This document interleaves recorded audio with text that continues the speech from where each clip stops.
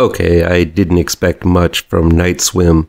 It's a movie plopped out in January, and Blumhouse's record is far from good these days.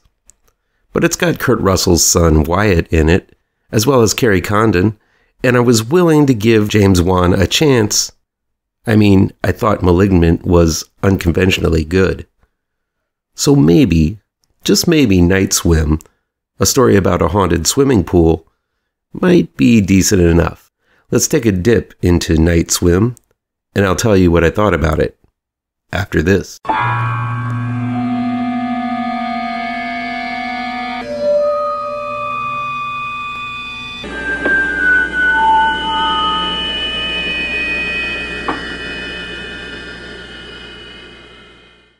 Welcome back to ML Miller Frights.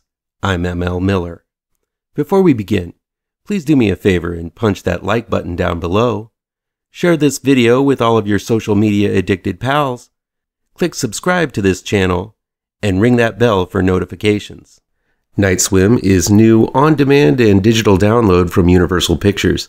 It's directed by Bryce McGuire and written by Bryce McGuire and Rod Blackhurst. Ray Waller, played by Wyatt Russell, his wife Eve, played by Kerry Condon, and his two kids, Izzy and Elliot, played by Emile Hoeferle and Gavin Warren, respectively, decide to move into a new home with a swimming pool in the backyard. You see, Ray suffers from multiple sclerosis, and his doctor suggests water based therapy to help him. So buying a house with a pool was a no brainer. But it turns out this pool is somehow connected to a natural spring that runs deep underneath the pool. When Ray starts swimming in the pool, his MS symptoms diminish, which leaves Ray to think some kind of miracle has happened, and he dreams of returning to his former career as a professional baseball player. But for the pool to heal, it must take a life, and the pool has its eyes on someone in Ray's family as a sacrifice. If pools had eyes, that is. I can almost see James Wan now. Wan produced Night Swim, and his name is heavily featured in the trailers.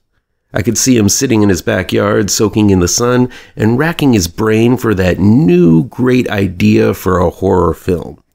And just when Wan is about to give up the ghost, his kid screams to him to watch him do a cannonball into the pool, and as the splash splooshes all over him, Wan stands erect with a finger in the air and says, By George, I think I've got it. Then he calls Jason Blum on the phone and says, Blumpkin, my man, I think I've got a new movie for you. And Jason Blum is like, Wonton, sock it to me. You know I love all your ideas. And Wan says, You know how I did two different haunted house films and no one really noticed, even though both of them starred Patrick Wilson? And then Blum says, Yeah, but I seriously doubt we can get away with another haunted house film with Patrick Wilson. And then Wan says, No, Blumpire, I'm not going to do another haunted house movie this time. Are you sitting down? It's going to be you sure you're sitting down? A haunted pool. And then Blum says, Genius idea, Obi Wan. Who do you want to star in it? And then Wan says, Patrick Wilson, of course. And then Blum says, Oh, no, sorry, no, Patrick is getting his forehead extended again. Best I can do is Kurt Russell's son. And then Wan is like, Okay, sounds good. He's kind of like Patrick Wilson, I guess.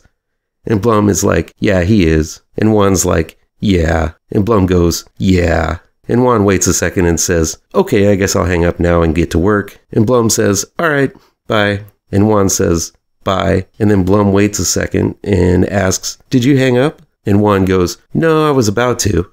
And Blum goes, Okay, I'm going to hang up now. And Wan says, Okay, bye.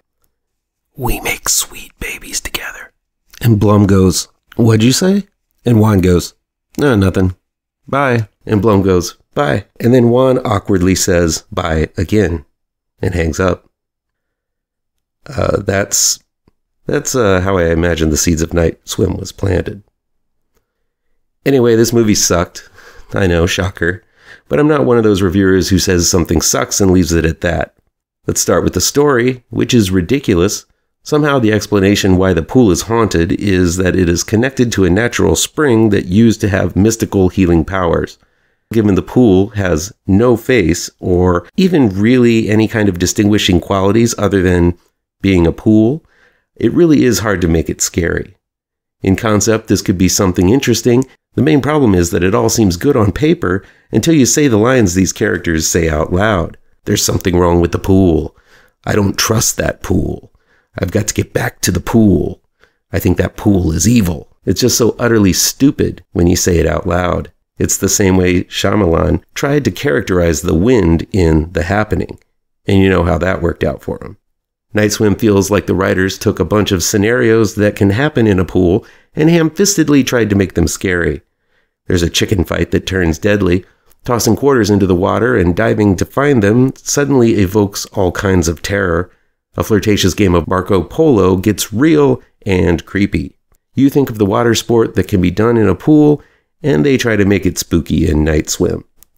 Night Swim tries to evoke the same kind of fear of the water that Jaws instilled upon the masses long ago, just when you thought it was safe to go back into the water and all that. There's quite a few scenes that ape specific scenes in Jaws, such as the first attack where a girl is jarringly tossed around in the pool, seemingly in the grip of something below the surface we can't see. There's another scene where Eve, played by Kerry Condon, hears a scream from the pool and rushes to the window, only to find that those shrieks are just a couple of kids playing. These moments are clever. I see what the director was trying to do, but Jaws had doll eyes and rows of razor sharp teeth. This pool has a mechanical cleaner and a diving board. Not the most terrifying of features. Sure, there are the ghosts that seemingly haunt the pool, but these spooks look like generic background dancers from Michael Jackson's thriller video. Kerry Condon and Wyatt Russell are way too good for this film. I know bills have to be paid, but this is not a movie either of these very solid actors are going to look back on with any type of pride. They're simply not given much of a story, as every five minutes we have to get back to that spooky pool. The conflict Russell's Ray faces is a selfish one, as he wants to be the baseball player he was before the MS kicked in. There's also a theme of one of the siblings being better at sports than the other one, which ties into Ray's conflict and the curse of the pool. The problem is that while Ray is being self centered, he isn't necessarily bad or doesn't do anything that deserves any kind of punishment other than happening to be unlucky enough to buy a house with a haunted pool. In the third act, he becomes possessed, just like Patrick Wilson did in Insidious and James Brolin did in The Amityville Horror. While I really love flipping expectations, at least Insidious's Patrick Wilson's character was neglecting his home and family. Ray is a loving dad, and while I don't expect everything to come up roses in a horror movie, seeing Ray pay the price, though he really doesn't do anything wrong, feels unsatisfying and unnecessarily manipulative emotionally. But all of that is too much examination of a film that really just isn't too deep. I found the characters and their motivations to be shallow.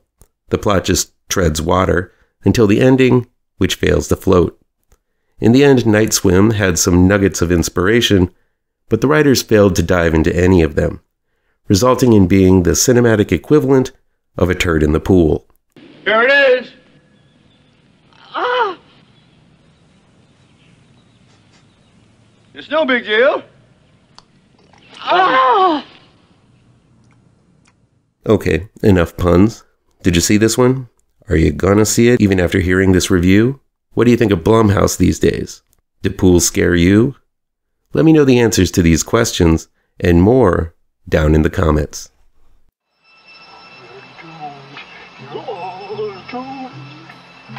You're doomed to live the life you're meant to be. Stuck inside your.